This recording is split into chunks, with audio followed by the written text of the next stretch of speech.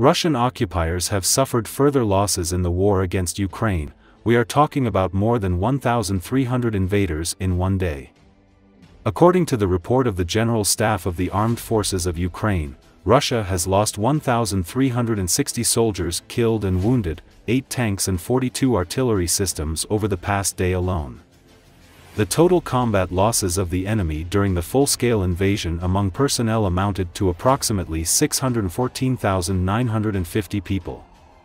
Among the losses in enemy equipment, in particular, 8,582 tanks, 16,736 armored combat vehicles, 17,614 artillery systems and 1,176 multiple launch rocket systems. Russia suffered losses and was forced to retreat after attempting to advance in the embattled front-line town of Vovchansk in Ukraine's northeast, Kiev's military said. In Vovchansk, in preparation for assault operations, the enemy attempted to deliver personnel to the central part of the city, using two tanks and two MTLB armored fighting vehicles, they suffered losses and retreated, the Kharkiv Operational Tactical Group said in a statement posted to its Telegram channel. The Kharkiv group of forces didn't elaborate on Russia's troop losses.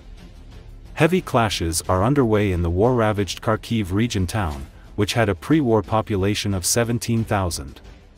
The Kremlin's forces kickstarted an offensive in the Kharkiv region on May 10, seizing a number of villages on Ukraine's northeastern frontier, and forcing thousands of civilians to flee, but Ukraine soon said that Russia's push in the region had failed, and that Moscow had suffered high troops losses.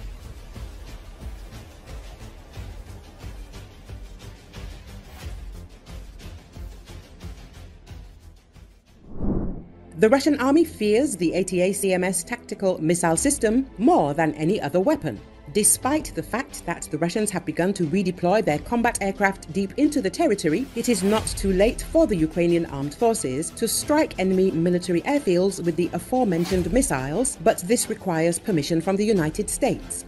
This is reported in the article by The Telegraph.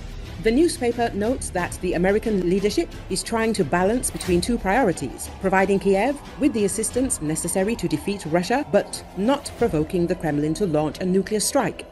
According to the author of the article, a large scale exchange of nuclear strikes could put an end to human civilization in the form in which it exists now. At the same time, this does not mean that Washington will not give Ukraine more freedom to use American weapons. The White House has already adjusted its policy and allowed GMLRS missiles from HIMARS to hit Russian military facilities in the border areas of the Russian Federation from which Ukrainian settlements are shelled.